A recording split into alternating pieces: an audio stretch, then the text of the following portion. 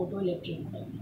Now the photoelectric effect, it was studied by H. Hertz and he stated that whenever a light of suitable frequency or whenever a radiation of suitable frequency falls on the metal surface, the metal surface starts ejecting the electrons. Now the electrons will be ejected out will be known as the photoelectrons and the phenomena will be known as the photoelectric effect. Student, this is the same this is the same photoelectric effect for which explanation the Einstein got the Nobel Prize.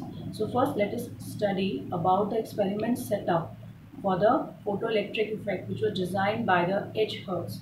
Now he, he have taken a evacuated tube in which the cathode is been coated with some metal whose potential can whose energy or ionization enthalpy or energy is less. That means this metal surface has got the electron less tightly held to the nucleus so that on for on getting the radiation of suitable frequency it will start emitting or ejecting out the radiation.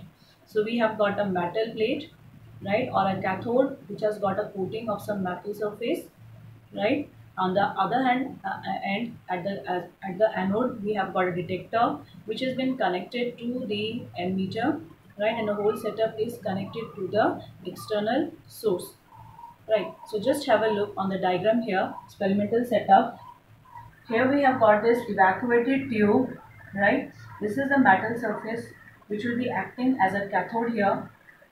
This is the detector which is acting as an anode connected to the external externally um, source also so then emitter right? So when the ra radiation falls now this radiation will can can be of uh, any frequency but we have to wait till a appropriate frequency falls on this metal surface right? So here when the radiation of this is the radiation right?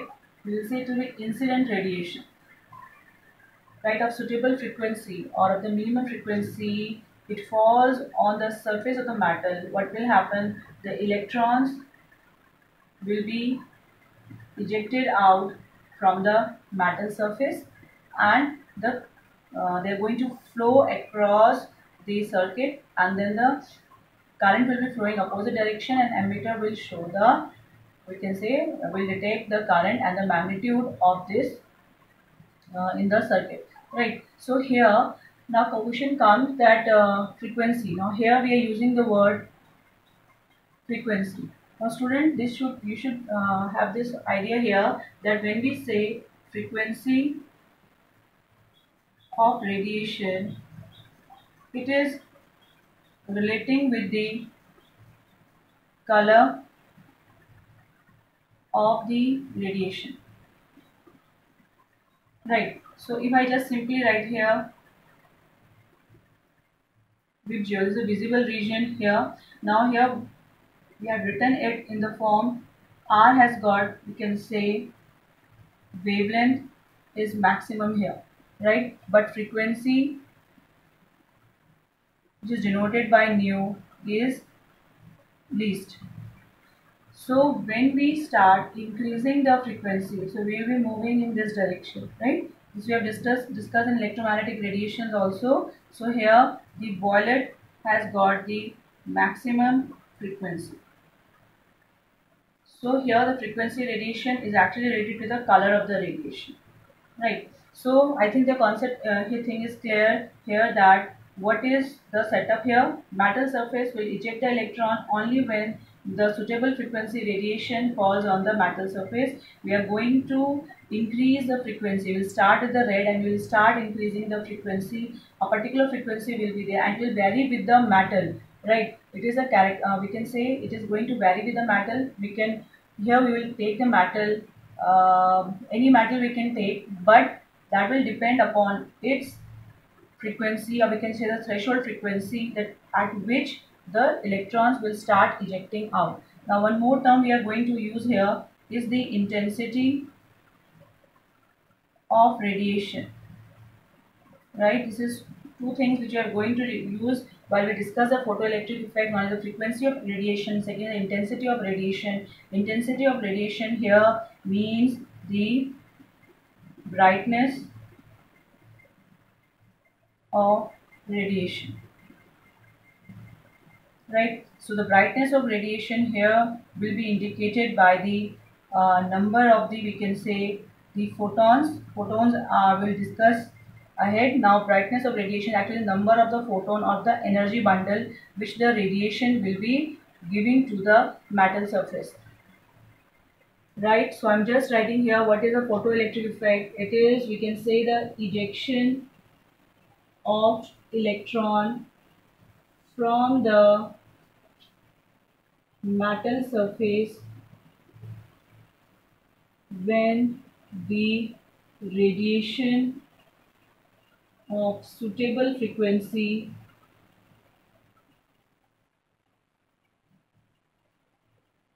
falls on it. The electron ejected are called photoelectrons. Now students here we have got the three characteristics here of the photoelectric effect. The first one is when we say the suitable frequency here is the minimum frequency which will be required. So the the frequency or we can say the minimum frequency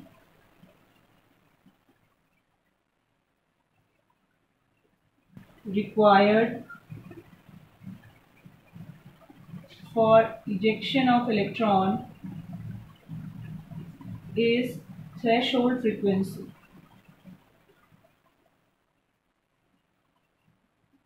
Right, the incident radiation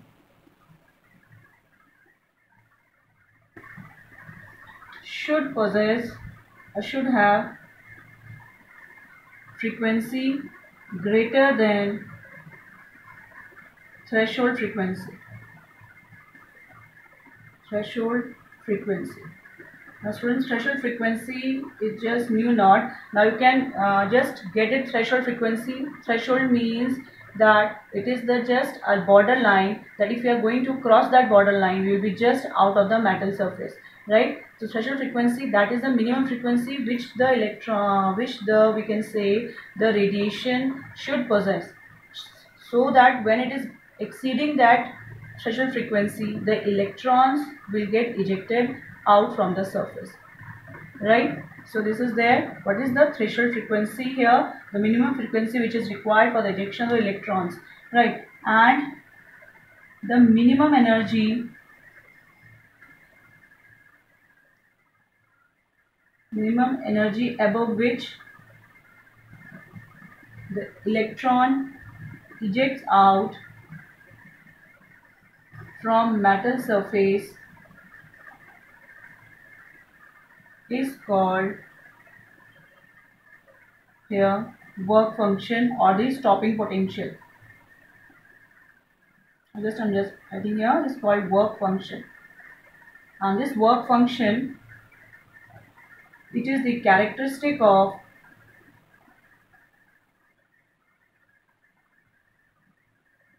characteristic of metal right second thing comes that is the here it is a metal surface right so when the incident radiation falling on it this incident radiation the electron falling off it, the electron will be ejected out with certain kinetic energy. Right? It will be just coming out with certain kinetic energy along with it. So second uh, point of this uh, concept is related with the, the kinetic energy of the ejected electron. That is a photoelectron will depend upon the frequency of radiation right? It will depend upon the frequency of radiation. So the the ejected electron is having how much energy will be rated with the energy which is possessed by the radiation which is falling on the metal surface. Third is the we can say here the number of electrons ejected right? The number of photoelectron ejected will depend upon the intensity of the incident radiation directly. Right. How many electrons are will be ejected from the metal surface will depend directly upon the intensity of the radiation, incident radiation that is the brightness of that radiation. Right. Here is uh, second postulate come back over here. The kinetic energy of the ejected electron will depend upon the frequency of the radiation. Right. So greater the frequency, greater is going to be the kinetic, the metal surface the electron get ejected out, the kinetic energy of the electron will be also more. Now, if the kinetic energy, we know that the kinetic energy is equal to half mv square. So, we can also state here that the if the kinetic energy and velocity of the electron ejected is directly proportional to one another. So, we can say it also that the velocity of the ejected electron will depend, so or the velocity of the ejected electron will depend upon the frequency of the radiation.